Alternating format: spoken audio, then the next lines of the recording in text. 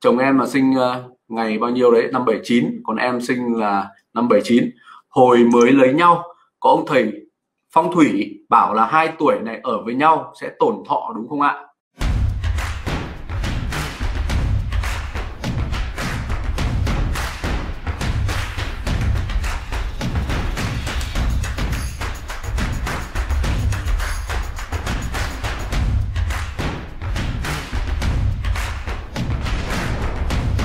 Có một câu hỏi mà tôi rất hay nhận được đó là à, thầy ơi thế thì à, tuổi của tôi như thế này và tuổi của bạn tôi như thế này nó có khác nhau không?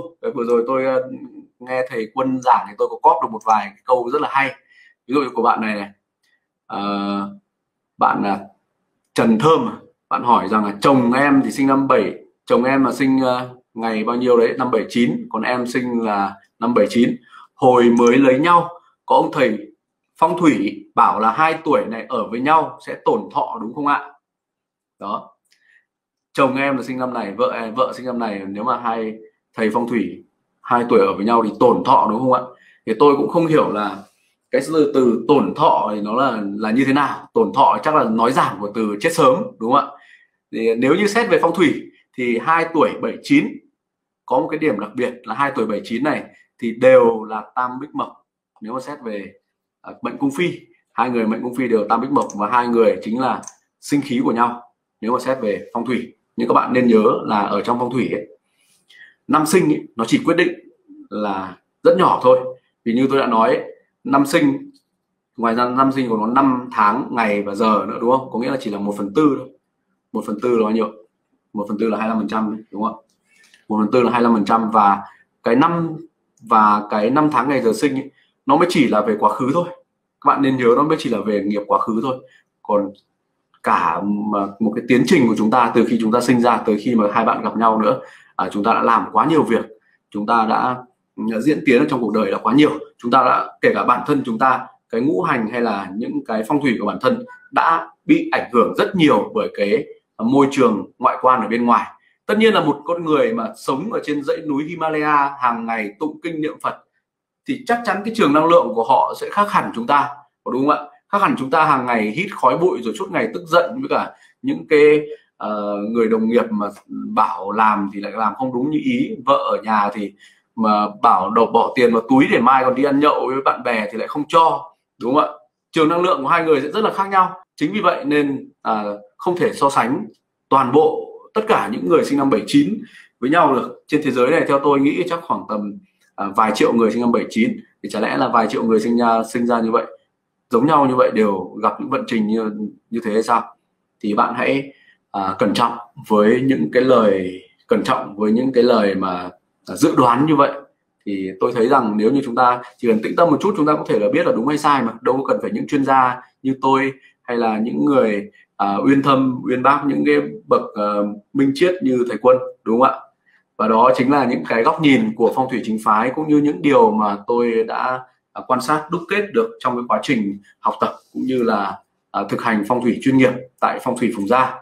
Thì à, tôi cũng xin kết thúc tại đây. Nếu như các bạn có cái câu hỏi nào đó các bạn có thể chia sẻ với tôi và tôi và thầy quân sẽ cùng giải đáp với các bạn. Thì em cũng xin thầy quân cho em một vài lời nhận xét hoặc là góp ý gì đó trong cái bài chia sẻ vừa rồi của em để em có thể chia sẻ kiến thức thêm với các bạn ạ. Rồi, à, cảm ơn bạn à, Phương. À, một số cái mảng mà bạn Phương nghiên cứu thì thú thực tôi không có nghiên cứu. Hoặc là có những cái món mà mười mấy năm rồi tôi bỏ thì bây giờ hỏi lại thì tôi chịu chết, tôi chẳng còn nhớ nữa nữa. Nha, nên à, à, ở dưới cái góc độ mà hai vợ chồng mà bị xung khắc á, hai vợ chồng mà bị xung khắc mà bây giờ các bạn đưa ngày tháng năm sinh vô cũng được. Nhưng bây giờ chúng ta đưa thử nhân tướng vào nhé để chúng ta giải quyết bài toán xung khắc vợ vợ chồng xem như thế nào. Các bạn nhìn vào cái màn hình này, chúng ta để ý này. Những cái bộ vị của chúng ta, ví dụ cái người chắn cao là cái người có tư duy tốt, chắn rô là cái người hay tưởng tượng, thì các bạn đâu có làm cho cái chán nó hít rô được, làm cho cái chán nó hít cao được đúng không? Đâu có làm được. Nên những cái nghiệp lực thuộc về cái bộ vị này này, nó định hình rồi. Nhưng mà những cái nghiệp lực mà nó thuộc cái bộ rễ này này, thì mình lại điều chỉnh được. Điều chỉnh được. Đó. Nên một ông thầy nào phán cho mình là ngày tháng này xung khắc với ngày tháng kia, coi chừng là cũng chỉ là hình tướng thôi. Coi chừng cũng chỉ là hình tướng thôi. Thế còn tâm tướng đâu? Tâm tướng, tức là tâm tính của chúng ta có xung khắc thật không? Đó, cái tâm tính của chúng ta có xung khắc thật không? Thì thần khí này, ánh mắt chúng ta nhìn nhau kiểu gì? Ánh mắt nhìn lườm nguyết hay ánh mắt nhìn nhau chiều mến? Ánh mắt nhìn thẳng hay ánh mắt liếc xéo? Khí là giọng nói. Giọng nói trầm ấm, giọng nói dễ thương hay giọng nói đầy nghiến, giọng nói khó nghe? Tôi nói anh có nghe không? Tôi nói bà có nghe không? Thì mình nói một câu đó người ta khó chịu liền. Vì cái khí lực mình tỏa ra một cái năng lượng tiêu cực, một cái năng lượng độc tố. Tại sao chúng ta không có một cái ánh mắt nhìn nó dễ thương, một cái giọng nói nó dễ thương? Mà muốn có ánh mắt giọng nói dễ thương thế, thì tâm tính của mình phải dễ thương. Tâm tính của mình phải phải bao dung, phải độ lượng, phải biết điều, thì giọng nói nó trở thành biết điều. Đó. Nên cái thần khí là ánh mắt và giọng nói hoàn toàn sửa được. Chán cao, chán thấp không sửa được. Mắt lồi, mắt trột không sửa được. Lỡ bị trột một mắt để làm sao mà mọc được mắt ra? Có lắp mắt giả thôi chứ cũng chả bao giờ mọc được mắt ra. Nhưng ánh mắt nhìn dễ thương, giọng nói dễ thương, biết điều, hoàn toàn sửa được. Nha. Cái thứ hai là hành vi và thái độ sống chúng ta làm việc với một thái độ như thế nào? Chúng ta làm việc với một hành vi như thế nào? Đi làm trách nhiệm có hay không? Tận tụy có hay không? Chăm chỉ có hay không?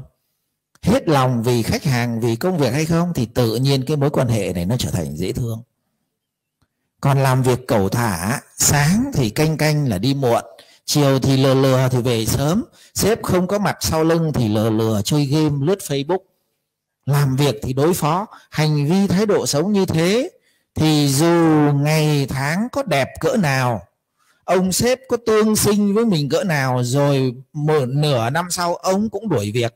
Các bạn cứ lựa một cái ông sếp nào mà ngày tháng tương sinh với các bạn đi, xong vào trong đó lười chảy thay ra xem bao lâu được đuổi việc.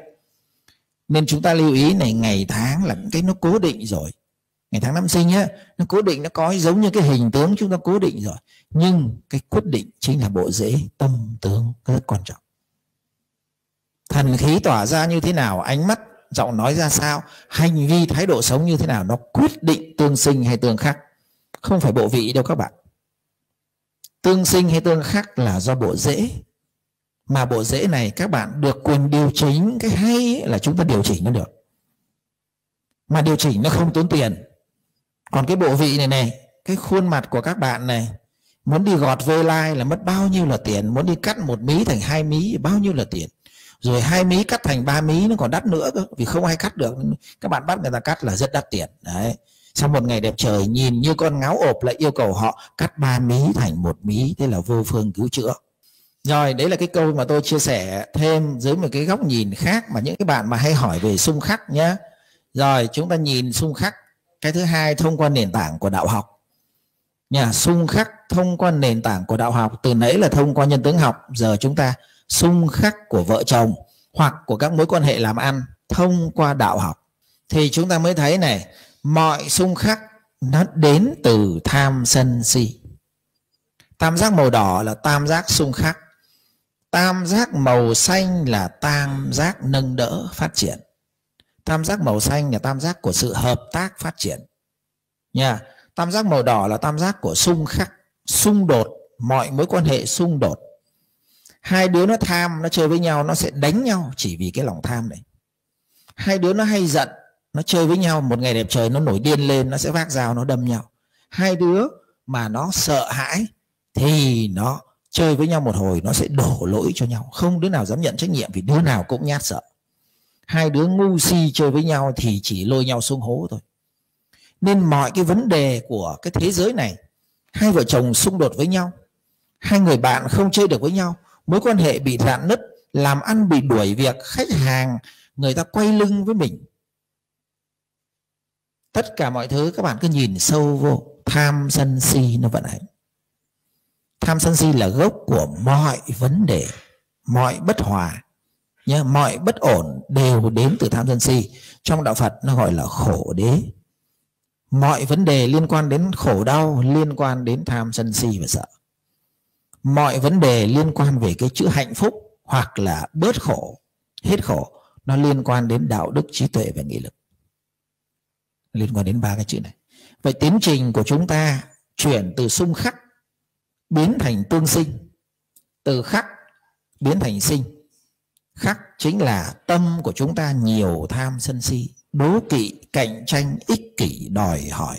Rốt nát, sợ hãi, bất an. Nó sinh ra cái xung khắc. Còn mạnh mẽ, bình an, tĩnh lặng, hiểu biết, tìm tòi học tập, nâng tầm nhận thức, rộng lượng, vị tha tha thứ, biết điều, biết cho đi, biết cống hiến là toàn bộ nó nằm trong đạo đức trí tuệ nghị lực, thì lập tức nó hóa giải mọi xung khắc. Có thế thôi. Nên mọi vấn đề xung khắc nó nằm ở tam giác màu đỏ, là nó xung đột và nó khắc chế nhau, nó gây hại cho nhau. Trong nhân tướng học nó gọi là khắc phu và sát phu. Khắc vợ, khắc chồng, giết vợ, giết chồng, nó nằm chỗ này. Còn nếu chúng ta chuyển sang được cái tam giác màu xanh, thì nó gọi là thuận vợ, thuận chồng, tát biển đông cũng cạn muốn thuận là cái cột đạo đức, muốn thuận thì phải có hiểu. Hiểu nhau thì mới thuận được nhau. Phải có trí tuệ thì đạo đức nó mới thuận. Còn rốt quá là cũng khó thuận lắm. Rồi thuận rồi muốn tát biển đông cũng cạn thì phải cùng nhau cùng nhau rèn, cùng nhau nỗ lực làm việc, nghị lực. Nên khi mà chúng ta rèn cái sự hiểu biết, trí tuệ rèn đạo đức chung và rèn nghị lực chung thì thuận vợ thuận chồng. Và khi chúng ta nói vào cái chiều sâu của đạo học, tức là chúng ta rèn luyện cái bản ngã này này, cho nó nhỏ lại, cái tôi nó nhỏ lại, thì nó bớt xung khắc. Còn cái tôi nó phình ra, cái tôi nó phình ra thì nó xung khắc.